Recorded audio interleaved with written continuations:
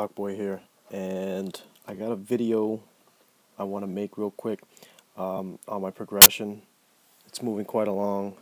Um, I'm up to B now. I've gotten into C. The furthest I've gotten in this account with it um, was in C. Uh, I mean, up to C. I haven't even tried that yet, but I've been farming B, and I'm pretty happy about that. Uh, ever since we got the Snowzilla, he was a big um, game changer when as far as that goes. And I was looking to change the uh, base design. I was thinking about changing it into the diamond. But my town hall is almost level 13, and I think I'm just going to expand the walls and make it a little bit longer of a walk-in. And since I did progress into B, uh, I'm going to keep that set up the way it is and see if I want to change the design after I get uh, two more legendaries, one through cards and one through shards. So as of right now, we're going to leave it the way it is because we did get to progress and I am farming B now. And I just wanted to do a quick video on that showing that being done because the last time we attempted it was a complete bust. So we're going to redeem ourselves here and show the extra shards that we're getting per run which is pretty cool.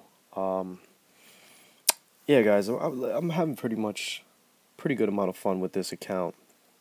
Um, in contrast to the main account, um, the main account, of course, is going to be my bread and butter, but at the same time, it's pretty cool. It's kind of like replaying the game all over again on hard mode. um, progression is a lot slower. Uh, still having fun. I'm not farming everything every single day like I should be on this account. However, I do jump on daily and make sure I do my here be monsters and once I'm able to get into mesas where people actually want to stay, I'll be doing that with pugs. I don't find it beneficial to uh, get into a guild that's uh, doing Mesa 1 because I feel like even with the free-to-play, progression is pretty quick and you don't have to invest that much energy unless you're just starting fresh anyway and you don't have a main guild.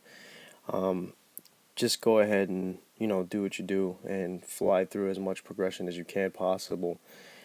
So the death trap is pretty much a design that is going to last you. I mean i've got a death trap for my main account. Um, then there's modifications to that uh, that we have also as well. But um, i'm leaving the death trap as one of the main ones and just i'll play on that since we have three other setups that we could in fact design. Uh, corner base is another main design that people do. I'm gonna pretty much be making it my own though. I'm not gonna be just copying every single you know base that's out there. So, you know, copy it for you know just to start you off, and then play to see what works best for you. This game is pretty much designed to where you can't copy somebody's stat for stat because um, everybody's hero, everybody's legend is to be a little bit different you know, your Snowzilla may have a 5 of 5 life drain, while mine has a Berserk, so we just use them in different ways. So you have to understand uh, the game and, and play on what suits you best.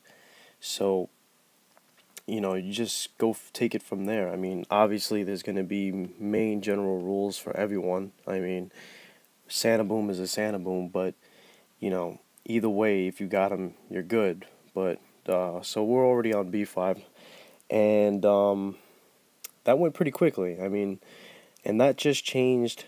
I don't want to say overnight, but once we got Druid and Snowzilla, it was game over. And you know, I didn't have super amazing luck on this account. I would say my luck on the account is pretty much average, if not a little bit below average even. And I was still able to pick up the victory on B, progress through changing the base design and leveling up these towers here. I loaded them up with some heroes because regardless of how it plays out, my guys are going to be capped as of right now because there's just a honor badge issue when you're at this level. So if you guys are at Town Hall level 12, I'm getting to 13. I'm just going to slap on some more walls. Uh, I suggest you copy this design. Go with the death box, see how it works. Um, you want to keep your main important hero in the middle. Um, the person you don't want to die. For me, it's my druid. Uh, but if you have a pumpkin duke or a cupid, you know somebody who's really going to boost the team that's the person you want to be in the very center and then just surround them with the uh, towers and let them do their thing um, don't get frustrated or don't feel like oh my base design doesn't work for me at all if you're not able to progress quickly because Here Be Monsters is designed for you to progress slowly unless you are a complete free to uh, pay to play player and you're farming your dungeons and you're farming everything you need daily. I mean, you have to be pretty hardcore, pretty devoted to the game to be a quick progressor. So, if you're not, if you're more of a casual player, that's cool too. Just uh, stick to what you have and what's working for you for a while and wait for your guys to get a you know higher level. Now, if your guys are much higher level than the waves that are coming in and you're still not progressing, then that's different. You want to take a look at how your design is and maybe you're doing something wrong. Maybe you're not adding the bombs, um, the hero bombs or the regular bomb traps. So, you know, just take a look into that and take it from there, guys.